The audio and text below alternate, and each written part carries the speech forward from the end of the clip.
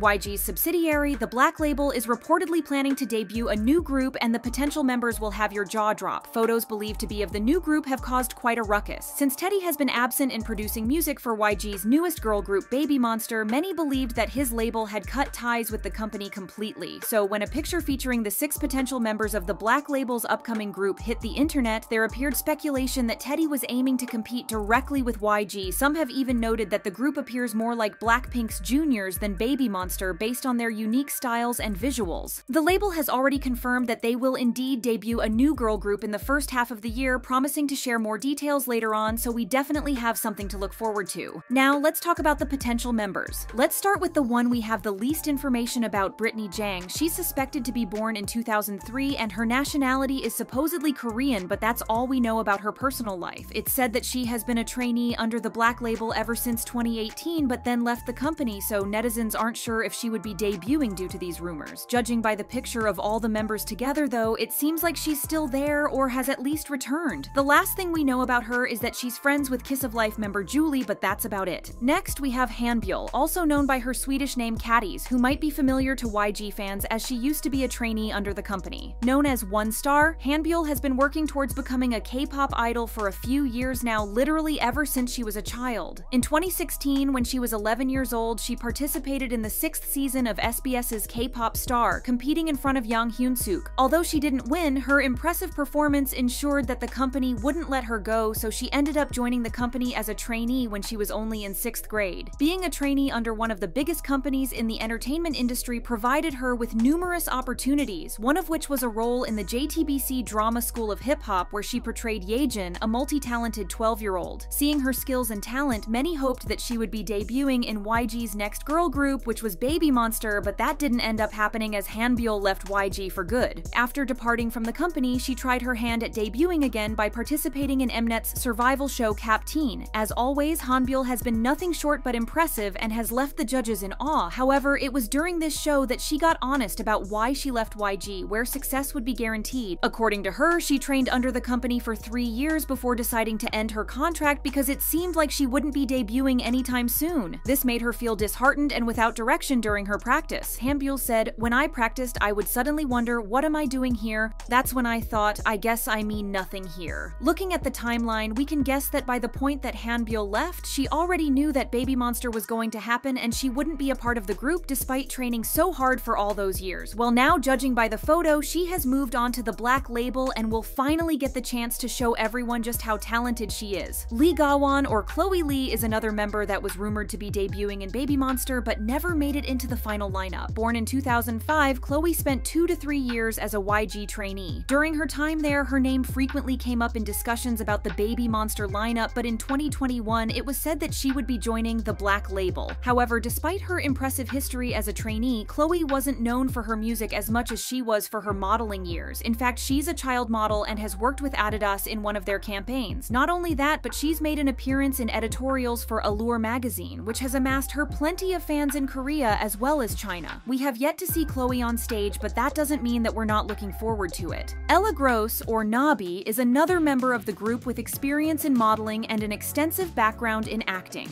Born in 2008 in the United States, Ella's career took off at a young age when she gained viral attention at just 10 years old for her striking resemblance to her senior Blackpink's Jennie, which led to many cute interactions between the two. This also marked the beginning of her acting career. She portrayed young Betty in the 2018 series Sasha Gossard in the 2019 Malibu Rescue and its spin-off The Next Wave, and young Soji in Star Trek Picard. During her years as a child actor and model, she was signed under Monster Talent Management, which was home to Zendaya. It's unclear if she's left the agency to join the Black Label, but if she aims to concentrate on her K-pop career, she likely entrusted the direction of her career to Teddy. Another interesting thing about her is that she's the brand ambassador for the luxury brand La Mer at only 14 years old. Even though we know nothing about the group or what positions the members will hold, we know who the main dancer will be, and it's none other than Bailey Sok. Before we get to her impressive career, let's talk about how she got started. According to Bailey herself, she began dancing at the age of two, prompting her parents to enroll her in dance classes. Initially, she received training in jazz, ballet, and tap, and by the age of six, she was already participating in dance competitions. At 10, she transitioned to hip hop and joined the all girl dance group Buns and Roses on the ninth season of America's Got Talent and teamed up with the young dance prodigy Kida the Great on NBC's World of Dance Season 4. She also performed on stage with Janet Jackson, Meghan Trainor, Jason Derulo, and Marshmello. At only 14 years old, she was teaching dance classes worldwide and earned the title of the youngest dance instructor at the 2019 Fair Play Dance Camp in Krakow. In 2019, she was one of four dancers chosen to choreograph the music video for Pop Stars, the debut single of KDA. A year later, at only 15, she got a choreography gig for none other than Red Velvet's hit song Psycho. In Bailey's own words, it was such a crazy experience for me because I didn't have any experience in choreographing for other groups. Even with my friends, we were just trying things out. She choreographed her own part from her bedroom, and most importantly, she got introduced to the world of K-pop where we guess she got the interest to debut as an artist. After her initial exposure to the K-pop scene, she played a role in choreographing music videos for Taemin's Idea, SHINee's Don't Call Me, aespa's Savage and Spicy, and Kai's Peaches, among many others. Mind you, she was going through all of this before she even turned 18. She was also featured in the music video for Cruel alongside Jackson Wang, which means that she has already established her name in the industry. She's also acted in dramas, movies, and commercials, so she's proven herself to be a jack of all trades. At first, the sight of Bailey among the other trainees has made people think that Bailey's the group choreographer rather than a member, but her friends' comments and even her own captions have proved otherwise. Plus, she worked with the Black Label and YG in the past as she was one of the choreographers for Taeyang's hit Shoong featuring Blackpink's Lisa and Vibe featuring BTS's Jimin and even Lisa's Money Dance Break. But we doubt that Bailey will contribute in the group as just a dancer as it's said that she's been taking vocal lessons with BTS's vocal trainer. If she really turns out to be a part of the group, she will put an end to the best dancer in the 4th 5th generation debates once and for all. Now, let's talk about the most controversial member of the group. Annie Moon, or Moon Soyoon, is thought to be the oldest member of the group as she is 21. However, she's probably the member that people will look forward to seeing the most because she's said to be a diamond spoon. Not a silver spoon, not a gold one, but she's allegedly part of the 0.1% of the population in terms of her wealth. It's said that she's the granddaughter of Lee Myung-hee, who is the chairwoman of Shinsegae, which owns the E-Mart retailing chains and billion-dollar department stores in Korea. Her grandmother is also the fifth daughter of Lee Byung-chul, the founder of Samsung. Two of her grandmother's nephews include Lee Jae-yong, the chairman of Samsung, and Lee Jae-hyun, the chairman of CJ. However, there are numerous other notable relatives in their family tree. Her grandfather is Moon Chung, a journalist who leads the KBS press headquarters, and in addition to that, her maternal uncle is Go Hyun Jung's ex-husband, more specifically the grandson of the Samsung founder and Shinsegae's current vice chairman. As for Annie's mother, Chung Yoo-kyung, she's currently the president of Shinsegae. With all of these CEOs and businessmen in her family, it's said that her family's net worth is $2.6 billion.